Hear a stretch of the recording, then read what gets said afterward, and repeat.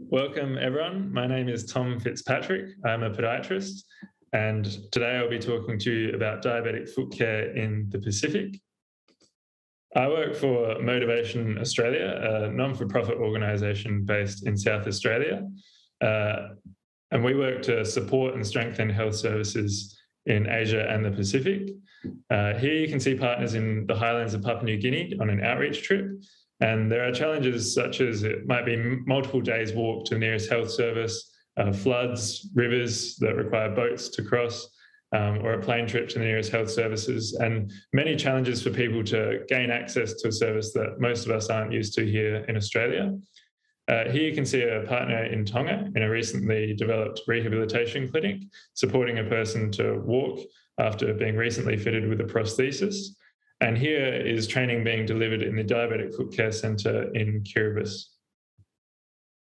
Our goals at Motivation Australia, uh, our first goal is we're looking to collaborate with and enable our Pacific partners to halve the rate of avoidable amputations by 2030. So that's a really big, ambitious goal that we're going to explore throughout today. We're also looking to double the number of people accessing rehabilitation and assistive technology services. We're working to empower women and girls and increase gender equity. And finally, we're looking to develop local emerging leaders. And you can see here we work um, with a big presence in the Pacific. So all these countries listed in green are Pacific Island countries. Many of these countries we started working in as early as 2007, which has helped us gain a deeper understanding of the culture, the context, the health services, and also to strengthen our relationships with partners in these countries. And our background started initially in wheelchair service provision uh, and mobility. And in the Pacific, there is a much smaller population and therefore also a smaller workforce or, and health workforce. Uh, so here in Australia and New Zealand, there's a combined health workforce of around 700,000 health workers. Um, whereas in the Pacific, they really don't have those numbers. So many people that are working in wheelchairs will also work closely uh, with people in rehabilitation, um, prosthetics, and orthotics. And from there, we were working closely with many people who had experienced amputation. And naturally, we progressed to then work in diabetic foot care. So in 2013, the World Health Organization Western Pacific Regional Office hosted a meeting with partners from the World Health Organization, the International Society for Prosthetics and Orthotics, Motivation Australia, and partners from the Solomon Islands, Fiji, and Marshall Islands. And together, this group outlined the priorities for diabetic foot care and what to work towards. And from these priorities, we developed a Keep Moving training package, which was then ran in Fiji, the Marshall Islands, Samoa, Kiribati, Tonga, and the Solomon Islands. And over the years, as we've delivered this training, it has been refined and evolved to fit the context of each of these countries and also to work with the local ministries of health and medical services to develop diabetic foot care protocols relevant to that context. So, to give an idea of the problems and challenges in the Pacific for diabetic foot care, um, the International Diabetes Federation in 2019 identified the top 10 countries with the highest prevalence of diabetes, and seven out of 10 of these countries are in the Pacific. And non communicable diseases, so diabetes, cardiovascular disease, uh, all NCDs, and they represent the single largest cause of premature deaths in Pacific Island countries, according to the World Health Organization. And these diseases account for 75% of all deaths um, across the Pacific Island countries. People are developing foot wounds, seeking medical assistance late, and often attend with infected, necrotic, severe wounds that often lead to avoidable amputation or death. And an example of this is so in the surgical ward in the Solomon Islands, the number of inpatients is up to 60% that have diabetic foot wounds or recently undergone amputation. So 60% of the surgical ward is basically diabetic foot care patients in a severe condition. And here's a video developed by our partners in the Solomon Islands to build on that understanding of the context. Hello and greetings to you all from the Solomon Islands. My name is Roslyn. My name is Sharon Juvier. My name is Angelina.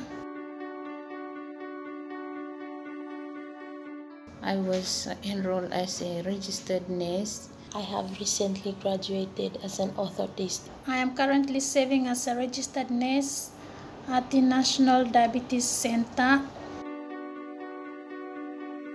Solomon Island, we comprise of nine provinces, which we have different languages, different cultures, different religious beliefs, and different races. Solomon Island has been recorded the ninth highest prevalence last year in 2019 by the International Diabetic Federation. Patients with diabetic foot are prone to nerve damage, circulation problems, and infections leading to serious foot problems. There are increased stresses in the families already and depression in the family themselves, hopelessness, anxiety, and decrease in social activities. As an orthotist, helping diabetic patients is one of my key roles. These uh, services helps them to regain their abilities that they have lost due to their condition to help them actively participate in the acti activities of daily living. Our country will need more assistive devices to mobilize for our daily needs, which will be more costly for our nation. Economically, there is low incomes. And for general well-being of a person living with diabetes, it involves other NGOs, organizations like governments, healthcare professionals, family members, individual, community as a whole.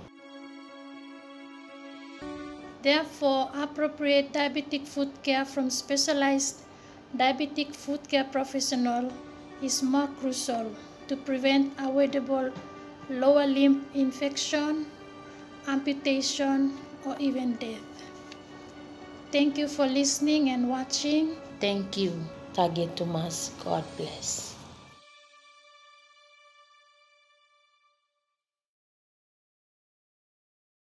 Thank you, Rosalind, Angelina, and Sharon. Uh, and from there, that, that brings the question what can we do? Um, and so, some in a more positive light and a, a, good note, there is a lot we can do to make a, a positive change. So, the International Diabetes Federation in 2019 also state that comprehensive diabetic foot care with complications risk assessment and foot care based on prevention, education, and support from a multidisciplinary team can reduce foot complications and amputations by up to 85%. Um, and this is supported by a statement from the World Health Organization that 40 to 60% decrease in amputation rates during the last 10 to 15 years seen in countries with strong diabetic foot management services. So, really quite positive notes to take away from what we can do and what a difference we will make. So for diabetic foot care, our strategy, as we acknowledged, is it is a very big problem and a very ambitious goal that we've laid out, and it's not something that can be done with any one team on their own. It will require a strong team and a lot of resources. So we are looking to collaborate and broker partnerships that improve diabetes health outcomes. We're working to support and strengthen the capacity of lo- local health services to prevent and manage diabetic foot wounds. And we're advocating for increased resources to national ministries of health, using, for example, um, promoting the evidence of economic savings and improved health outcomes um, associated with diabetic foot care. And on top of that, we're looking to educate and contribute to learning opportunities um, and create opportunities and career pathways within the diabetes sector. So here you can see a capacity assessment matrix, which we use in our approach, which these four pillars uh, assess essentially human resources, technical resources, service systems, and organizational culture. And by building all of these, it will affect the services that clients are able to access. Um, so you might think, how might we work together to make a difference? Um, if you have any questions or ideas, how to collaborate or suggestions that you can offer, um, bring those ideas to the discussion panel, which I'll be joining after this, um, and we can discuss that further. But if you are interested in getting in touch, we are very enthusiastic to collaborate and broker partnerships and work with you. So please don't hesitate to contact us. Um, and I've put my email here and the senior clinical advisor's email here as well, with Lee Brentnell. Um, but thank you for listening, and I'll see you all at the discussion panel.